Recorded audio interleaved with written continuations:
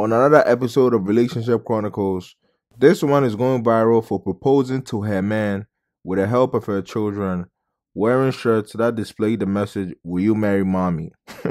Just watch the video. When I found you, found my most intimate friend. When I found you, I found whatever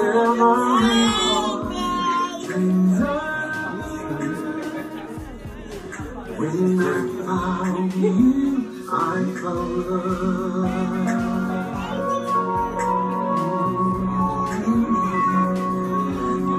I didn't know what I was gonna say. Um, yeah, the pressure is on you, not on him, not on him, on me. Um, but I have loved this man for forever. Um, we have a child together and we have a family together. Um, I know he doesn't think much of this um, little sin thing that we've done today, but I wanted to find out. We've known each other for 10 years. I wanted to know if he'd spend the rest of his life with me.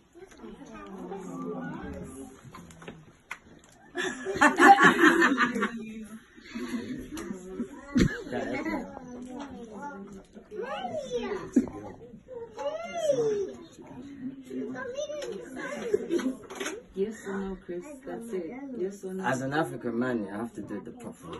I'll go and kiss her, man. You want to see that, man? You want to see some juice, right? I see some juice. what you do, bro. My whole mouth is it's.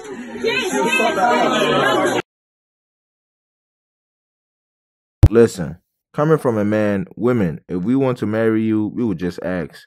Secondly, based on her words, she knew he would hate this, but did it anyways in front of family and friends to make him feel pressure to say yes. Ladies, please stop proposing to men, but if you do, do it privately to save yourself the embarrassment with just you and him. Your kids should not be involved, especially someone they call an uncle. Also, I wouldn't call her desperate because she knows who she wants to spend the rest of her life with.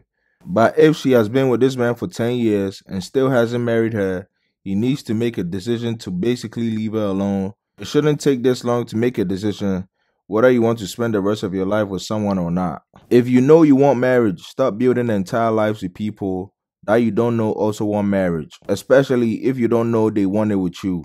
Some stuff can really be avoided early on. Sometimes love is not enough. You got to be able to have uncomfortable conversation with your partner, especially if you're in a long-term relationship. But hey, let me know what you think in the comments down below.